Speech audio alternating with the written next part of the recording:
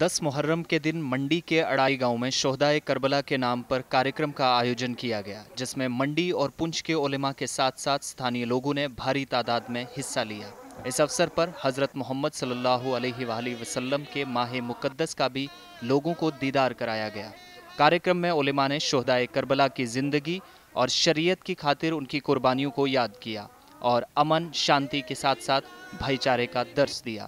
آپ کو بتا دیں کہ اڑائی گاؤں منڈی کا دور دراز سیماورتی چھیتر ہے، جہاں ہر سال دس محرم کے دن خاص کارکرم کیا جاتا ہے اور لوگوں کو امن اور شانتی کا سندیش دیا جاتا ہے اور ساتھ ہی ماہ مقدس کا بھی دیدار کرایا جاتا ہے۔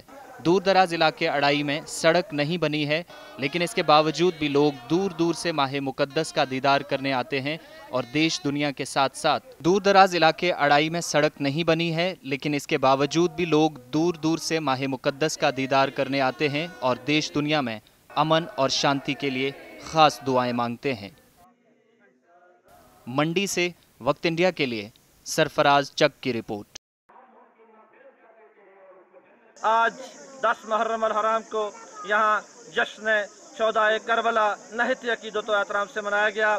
اس میں چودہ عظیم کی ان قربانیوں پہ روشنی ڈالی گئی جو امت مسلمہ کے لیے مشل راہ اور قیامت تک بقائے دین ہے۔